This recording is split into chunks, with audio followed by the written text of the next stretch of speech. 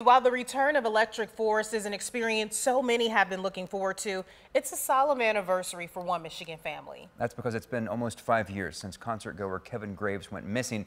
To this day, that family is still holding out hope for some sort of closure. 13 on your side's Trevier Gonzalez joins us live here in the studio. Trevier, the family is doing something new this year to keep the memory of Graves alive. Yeah, Jay, that's right. For those making their way to Electric Forest, this billboard is out in the open for drivers to see. Now, the family of Graves is asking anyone with information to call the Oakland County Sheriff's Office. Now, it was back in July of 2018 when it was announced that Kevin Graves went missing. It was the, his first time going to Electric Forest in Rothbury over in Oceana County. At one point, the investigation was handled by Michigan State Police's Hart Post, which is just north of Rothbury, but it's since been turned over to the Oakland County Sheriff's Office near Detroit. We're told that's where Kevin was living with his girlfriend. Now, we spoke with Kevin Graves' father, who says he's frustrated with the lack of answers, but above all else, him and his wife are just hoping to one day be reunited with their son.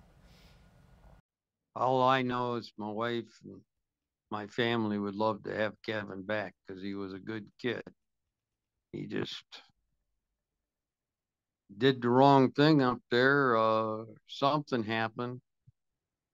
I can't believe that he just disappeared and went with uh, a group of people or somebody else because his mother heard from him every single day. Gary, the father there, adds that the pain is not getting of not getting any answers has been especially tough for Kevin's mother. And as you might have heard there, the family has not given up hope that Kevin is still in alive. In fact, his last point he wanted to make in that interview was a direct message to Kevin: If you're out there, please give mom or dad a call. Trevor Gonzalez, 13 on your side. Thanks, Trevier. And once again, if you have any information at all, you're asked to call the Oakland County Sheriff's Department at the number there on your screen. We'll also have that contact information on our website, 13onyourside.com.